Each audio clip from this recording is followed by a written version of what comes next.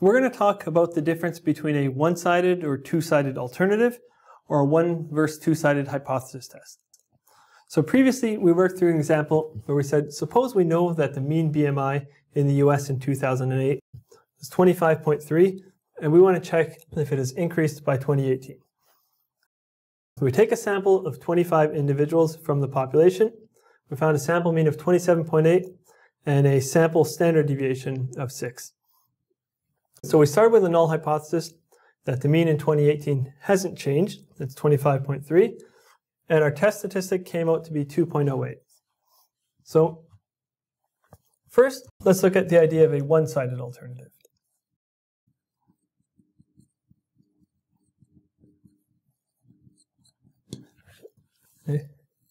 Here, we're looking at an alternative hypothesis that the mean in 2018 is now greater than the mean of 2008. First, the idea of a two-sided test, two-sided alternative, where there we're looking at an alternative that the mean for 2018 is not equal to 25.3. So we're going to talk our way through the difference um, between each of these. In the one-sided test, we're looking at um, a deviation on one direction, um, or one side of the null hypothesized value.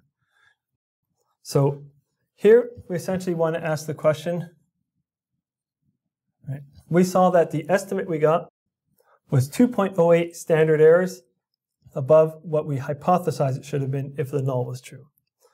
So here we're looking at what's the probability of getting an estimate 2.08 or more above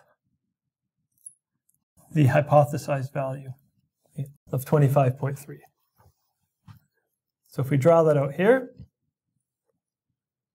and this is if the null hypothesis is true, what's the probability of getting an estimate of 27.8 or more, or an estimate that's 2.08 or more standard errors above the hypothesized value.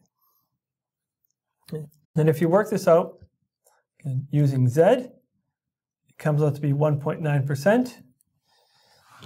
And we saw, just for the sake of completeness or correctness, if you use the t distribution, which is technically the right way to go, the p-value is going to come out to be 2.4%.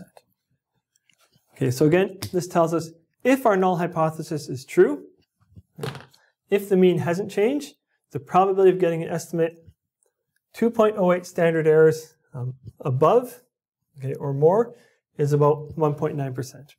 Thinking about a two-sided test, here we're asking the question, what's the probability of getting an estimate, right, the sample mean, that's 2.08 or more standard errors away from the hypothesized value. Okay, so drawing that out in a picture,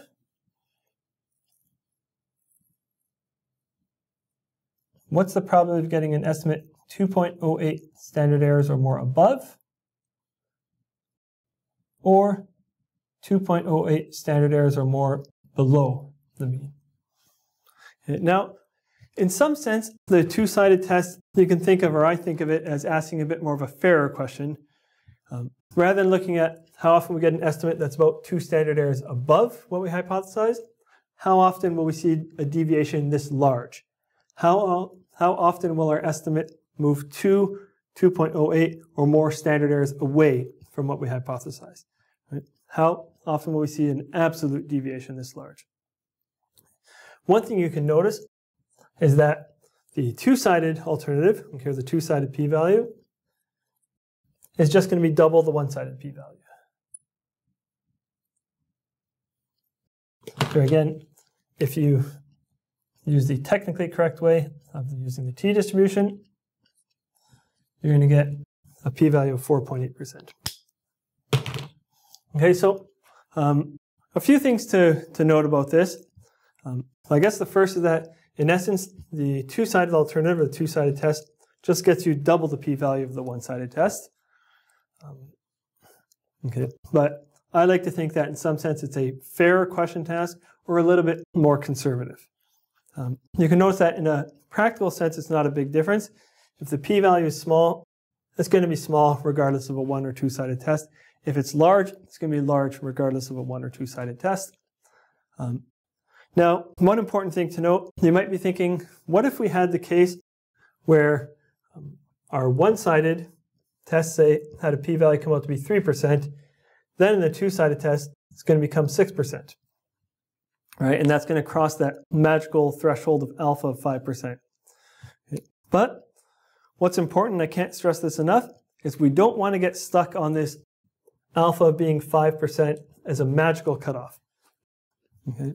Um, I would consider the 3% and 6% p-values of, of roughly the same. Okay. While p-values are helpful, we can't take a research question and boil it down to one single number that tells us is something happening or not.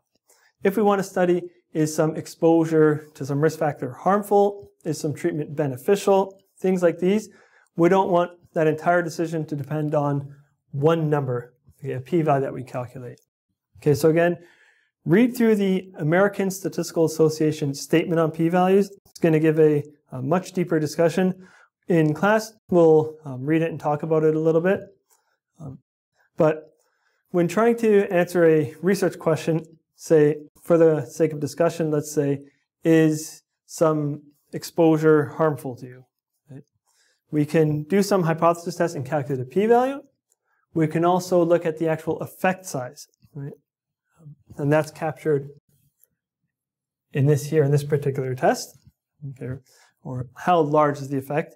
Building a confidence interval around that effect size, right, can tell us a range of plausible values for the effect size.